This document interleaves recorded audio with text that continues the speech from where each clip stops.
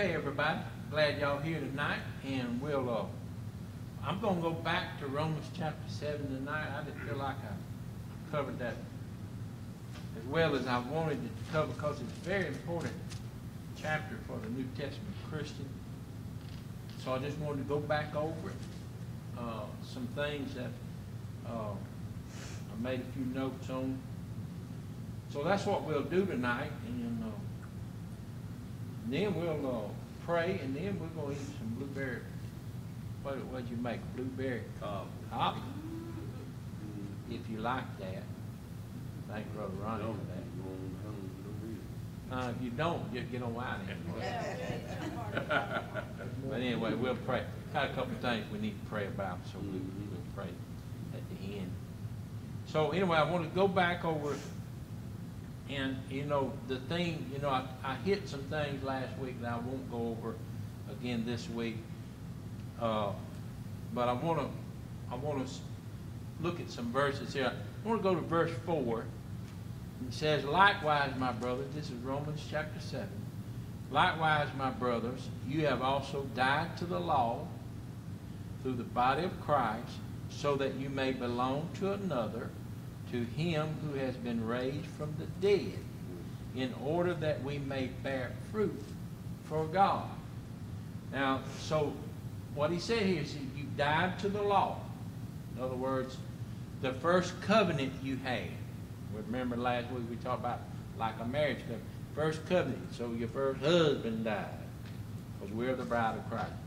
So now you are married to Christ, which in which is a new covenant.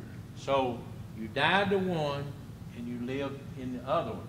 So you died to the law, now you live in the spirit. And uh, it's important for, for if we get this in our minds when we're struggling with sin. When we get this, it will help us in our struggle. He said, in order that you might bear fruit for God. The, the fruit that he's talking about here is, is different from like the fruit of the Spirit, which we find in Galatians 5. The fruit that he is talking about here is the fruit that God gave us. The fruit that, that he's talking about for God is would be the same that a married couple would, would bear fruit. He said, he told Adam and Eve, he said, go be fruitful and multiply, bear fruit. In other words, procreate. So then when he's talking about, so you you died to one, now you live in the spirit that you might bear fruit for God, that would be fruit after its own kind. In other words, that you you bear fruit in seeing new souls come into the same knowledge and faith that you have. In other words, new souls, new believers, people who who were once enslaved and in bondage and bound to bear fruit would be to see those same people, just like you were, to be set free. Free from sin and death and living as we are, as believers in Christ, in spirit and in life. So then he says, For while we were living in the flesh, verse 5, our sinful passions aroused by the law were at work in our members to bear fruit for death. So under the old covenant, under the law, remember, we'll say it one more time, the law does not cure sin. The law makes no way for to alleviate sin. Uh, ultimately, you will die. Okay? The Spirit brings life. So the, the only fruit that you would have bore under the law is to bear the fruit of death because the law shows us, identifies our sinful passions, and we lean into our sinful passions. And when we do, the fruit there is death. Now, he says in verse 6, but now we are released from the law. Aren't you glad? Having died to that which held us captive. And what held us captive? Sin. The law didn't hold you captive. Remember, the law is holy and it's good. That's what he says it right here in chapter 7. He said it's holy, it's good, and it's righteous. So the law didn't hold you captive, but it, but it was your sin that held you captive, and the law was unable to break that, that sin. So a lot of people get confused on that. That's what he keeps trying to say. The law in itself is not bad. Okay? But because that's all you had, you were never going to get free from it. You had no remedy for sin. You had no recourse for sin. All you had was the judgment of sin. That's what the law brought. So you were held captive so that we serve, look at this, in the new way. I like, uh, when I went back and just looking, I, like, I, I like how this was phrased in the new way. Now I'm reading out of the English Standard Version of the Spirit and not in the old way of a different code. In other words, when we were under, now listen, when we're talking about the law here, obviously we're talking about the Mosaic law. But it's been my experience that there are more laws out there than that, and, and they're religious laws. And and we, you know, we are we're guilty we're guilty of adding laws, you know. Well, you got to do this, you got to do that, you got to do this. If we're not careful, human beings will add they will add weights to you. Okay? So, but he said, now, so you were under this burden of doing things that would never work for you. That was the way that you lived. In other words, what does a way mean? Way means a path. It means, so now we had an old path, an old way to walk. Now we have a new path, a new way to walk. Now we have a new economy. Okay? Economy is, is just, you know, we, we, we think about money and, and giving, taking money, but economy basically means how you how you do something, how you barter, how you trade, how you how you do anything. So we're we're out of an old economy into a new economy. It's a new way. It's a new way to do it. A new walk, a new covenant. Remember what Jesus said in John chapter 14, verse number 6. He said, I am the way the truth, and the life. So this old way, we're free from it. And we walk in the new way, which is Christ Jesus, because he is the way. Remember, he said in verse 1, he said, he said, I'm going, and where I go, you'll follow me, because you know the way. In other words, you know me. I'm the way. So again, why, uh, here's the question then.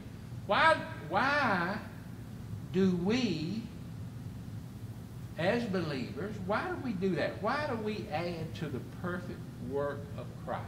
Why do we do that? Why? Let's look at what Paul told the Corinthian church. I, I want to see what he says here. In 1 Corinthians uh, chapter 1, uh, chapter 2, he said, Paul said this. He said, For I decided to know nothing among you except Jesus Christ and Him crucified. In other words, Paul was saying to the church in Corinth, he said, When I come to you, I ain't coming to you with no baggage. I ain't adding anything to it. All I'm going to give you is Jesus Christ.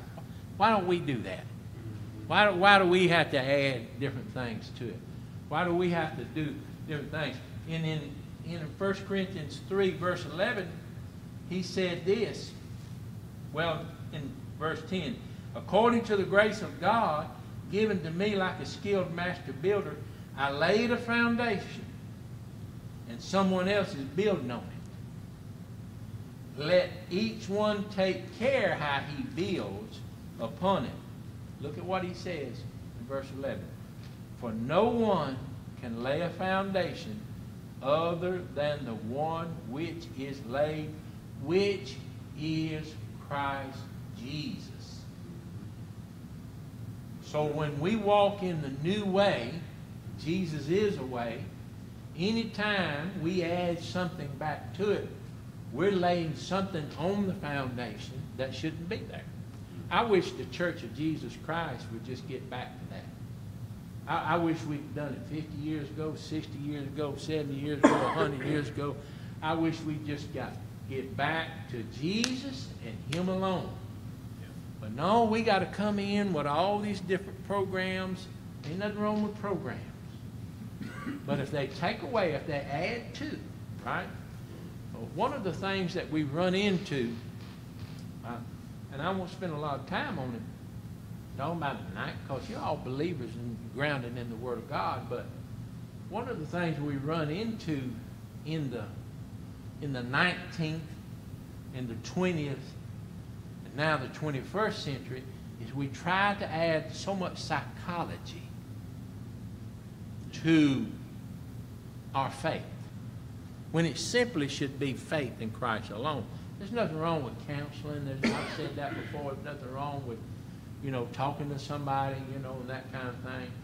But anything, any type of counseling should be simply the Word of God. Any type of talking should be the Word of God. If I'm going to, if I'm going to counsel you, if I'm going to try to give you wisdom, I'm going to try to help you, I should point you to the Word of God. You know, I was preaching on that the other Sunday, and I was like, the Word of God gives you the answer for everything that you need. You want to know how to raise your kid? Go to the Word of God. You don't know how to handle your finances? Go to the Word of God. You want to know what to do when your body's sick? Go to the Word of God. You want to know what to do when somebody does you wrong? Go to the Word of God. You want to know what to do when you've done somebody wrong? Go to the Word of God. So He'll handle all your, the Word of God handles it. So we need to get back there. And listen, if you got off somewhere, get back there. Just get back to the Word of God.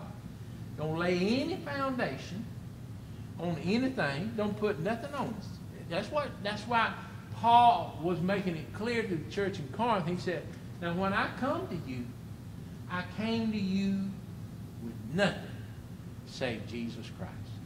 That's all I'm going to talk to you about. That's all I'm going to point to. That's all I'm going to point you to. Everything that I'm going to point you to Jesus because what greater foundation? Because He's the way. Amen? Amen. Now, let's look. Remember, I'm just going to hit some things that I, I, I didn't feel like we, I hit them well enough last week. So in verse 10 of chapter Romans chapter 7, he said, the very commandment that promised life, look at this.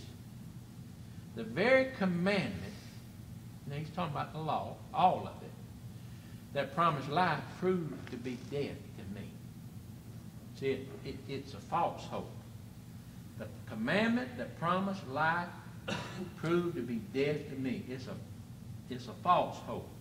It's an empty promise and it results in the frustration of sin and death. Because the law, in other words, I'd say it like this the law is not the cure, the law just identifies. And so you get frustrated. Now, when we when we lay stuff on people, when we lay stuff on people, you ought to do this, and you ought to do that, you need to do this, and you need to do that, all we're doing is causing those people to get frustrated. Right?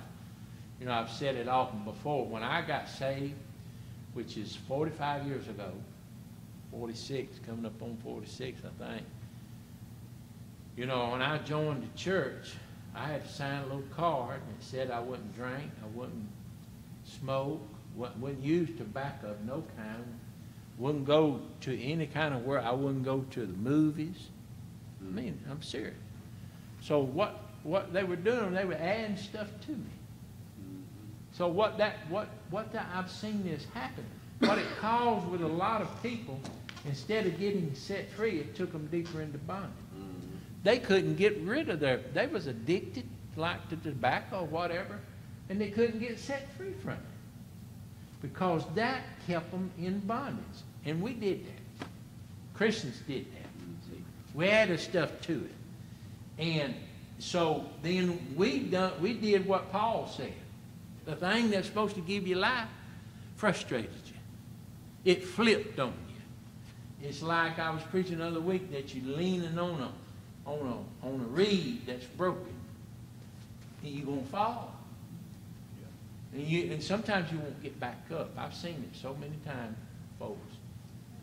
People just get frustrated with it and they leave. And they said, that's it. I can't do this stuff. I can't handle all this church stuff. Puts too much on. Verse 11 says,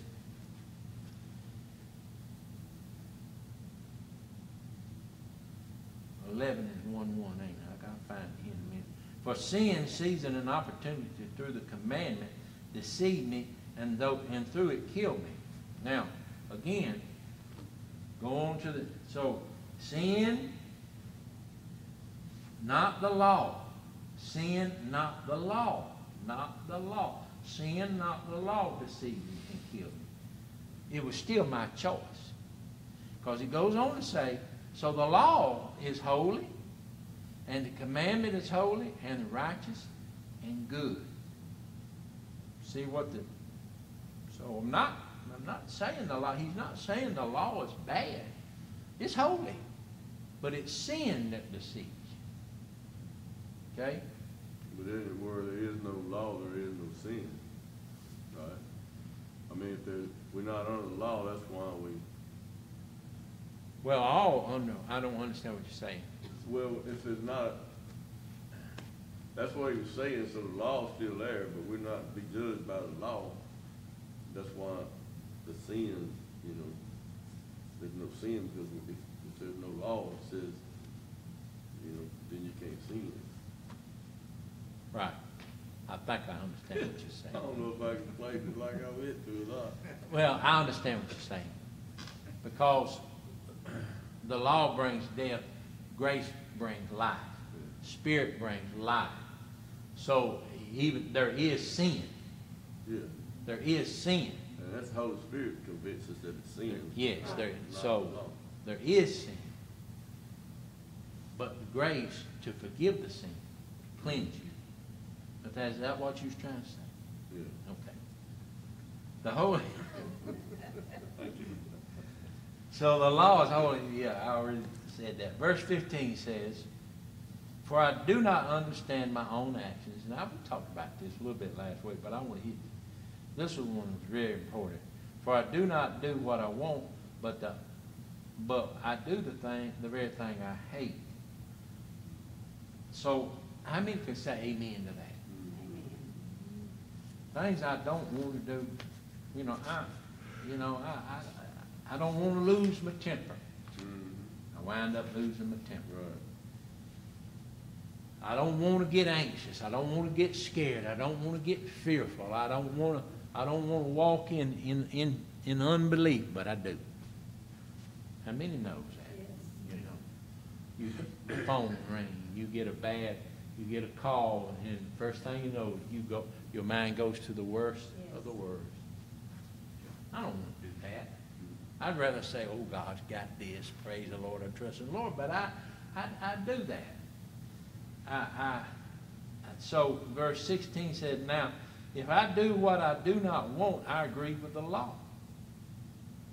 That is good. So now it is no longer I who do it, but the sin who dwells within me. It's still a sin problem. Sin that dwells in my flesh. And when I want to do right, verse 21, evil, how many knows it's true? When I want to do right, evil lies close at hand. Now, this is why I believe this chapter is so important to New Testament believers. When we understand that it's not all about the do's and the don'ts and the wills and the wants and the cans and the can'ts and don't do this and don't do that, don't eat this and and make sure you don't say this, make sure you don't that. When you try to do that, sin is going to lie close at hand. But when you walk in the Spirit, which we're going to talk about uh, in chapter 8, when you walk in the Spirit of life, I don't have to so much focus on. Okay, well, hold on a minute. Uh, let's see now.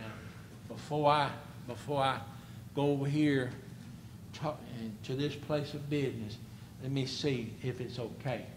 Now, is it Monday? Can I go on a Monday too? You understand what I'm saying? And, and um, well, I can't go because it's Wednesday and I can't go on a Wednesday. Right? Well, I got to look at that. No, what Ronnie said, the Spirit of God will lead me. Now, how many, how many know what I'm many knows that there's things that you can, you can do that there is no conviction that you whatsoever you could do? There are things that I could do 15 years ago that I can't do now. I can't do those things now. But it wasn't a written commandment. It was the Spirit of God writing it in my heart, telling me, no, you don't need to do that. And I knew it was good. Now, once he told me not to, Ronnie, by the Spirit, if I do it, then that becomes sin. I, I become disobedient to what the Spirit of God said. But you, uh, on the other hand, could do it all day long, and it's still okay. It, it depends on where I am in my walk with the Lord. Now, there are certain things that are black and white sin, everybody. You don't lie, you don't cheat, you don't steal, you don't run around, you don't covet, you don't gossip, you know, you don't, you don't lose your anger, you, you know, and, and, and get furious with somebody. You don't do those things. Everybody knows that. But then there are other things that, as you grow in the Lord, He might say, you know, maybe you, you probably need to leave that. You do. That is the freedom of the Spirit. You're no longer then walking such a tightrope that you're scared you're going to fall off every time. And you're not on, and here's the thing you stop trying to do it in your own power. That's what I want you to get tonight. Stop trying to do it in your own strength.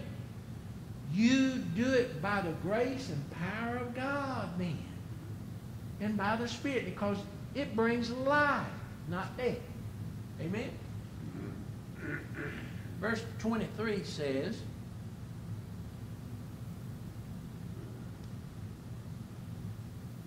But I see in my members another law. So there's more than one law. There's Moses' law, there's laws that we add, there's laws that the Baptist church adds, Pentecostal church adds, and the Catholic church adds. There's all kind of laws. So when he says there's another law waging war against the law of my mind and making me captive to the law of sin that dwells in my members, Wretched man that I am, who will deliver me from this body of death?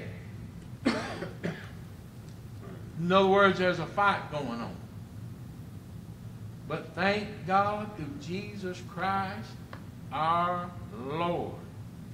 That's what he says in verse 25. So then, I myself serve the law of God with my mind this will help you, okay? With my mind, in other words, my mind is saved, but my flesh ain't quite made there yet. Come on, somebody. That's, that's, the, that's the fight. One day, praise God, we'll have a new body. One day we'll be free from this sinful flesh. Remember, we talked about that. We still walk around with that DNA of Adam in it. But our spirit, we got the DNA of Christ in us. And we're walking free. So when we understand that, when we understand that, we can do this.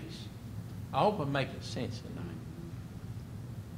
We can we can let the Spirit dominate what we do rather than the flesh.